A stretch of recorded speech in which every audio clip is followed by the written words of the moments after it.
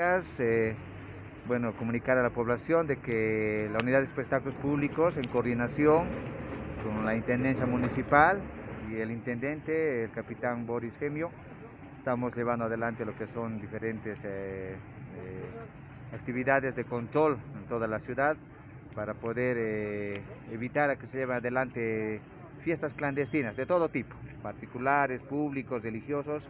Ninguna de estas actividades está, tiene autorización para poder llevar adelante ninguna fiesta. ¿Cuántas han identificado hasta el momento? Mire, este fin de semana pasado, como ustedes tienen, tiene conocimiento, dos actividades. Eh, viernes una fiesta de cumpleaños, el sábado un matrimonio, en donde lastimosamente se ha detectado a dos personas que han dado positivo con el COVID. ¿no? ¿Hay autorizaciones al momento? No? no hay ningún tipo de autorización para ninguna, ningún tipo de actividad, vale decir fiestas eh, religiosas, particulares, carácter público. No hay ninguna autorización para ninguna fiesta. Para los salones eh, públicos, los salones que se, que se dan a alquilar, eh, la sanción es de 2.000 UFBs. ¿Ya se ha tenido estos cobros? ¿A cuánto?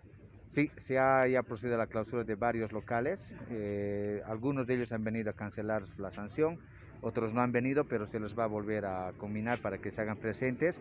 Caso contrario, no van a poder atender los salones, no van a poder darse en alquiler hasta que no cancelen la, la sanción correspondiente. Para los lugares donde se encuentran casos de COVID, ¿se los remite a la Fiscalía a algún lado por atentado a la salud?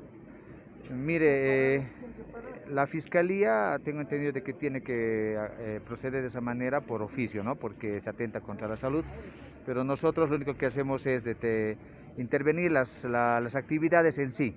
En este caso, por ejemplo, en los espectáculos públicos con la intendencia, las fiestas que están prohibidas. Ahí el área de salud interviene a lo que es eh, detectar eh, si alguno de ellos está enfermo con COVID y ya después eh, se los emite a lo que es el área de salud y ahí ya tendría que tener atribución a la fiscalía como tal para ver si se procede o no a poderles sancionar.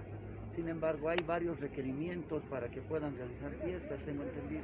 Hay requerimientos. Eh, ha habido este último habido requerimientos para fiestas religiosas, con lo que era San Juan, San Pedro, pero también no se les ha negado dicha, dichas actividades por justamente determinaciones todavía del COE que sigue vigente, ¿no?